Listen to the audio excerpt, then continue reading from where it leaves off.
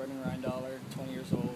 Um, I basically was uh, sleeping inside my house, and I and I uh, woke up to a bunch of pounding at my house, and then I heard my neighbors yelling.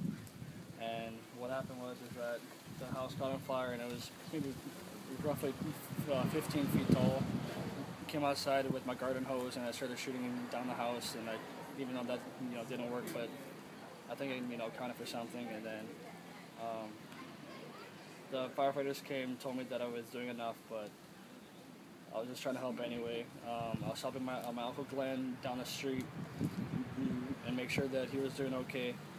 And then more firefighters came, and then they started shooting, shooting down the house. And um, basically, more people came, more more policemen came, and they're all trying to you know do everything down here and do uh, traffic and stuff like that.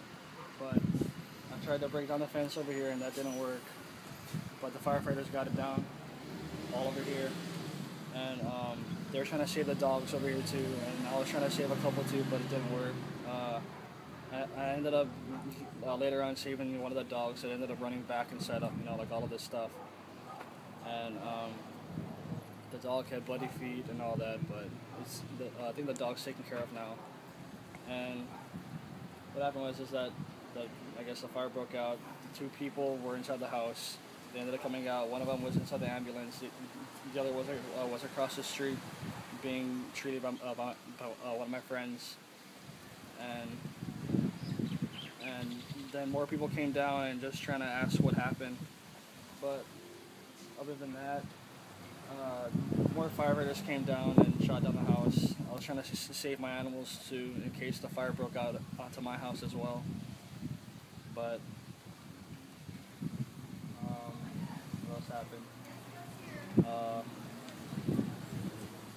one of the people that came out of the house, he ended up having a, he ended up having a burn on um, on his right arm. I think it was his right arm, and uh, and, and the other one, uh, Uncle Glenn, he had stage four cancer, so he wasn't doing so good. Uh, trying to treat the fire, and uh, he ended up passing out once, but the ambulance kind of helped him out, and we ended up trying to catch him before he fell. But I think they both went went to the hospital, and then me and my friends were um, asked to go to the hospital as, as well to treat the um, smoke inhalation. And other than that, that's about it.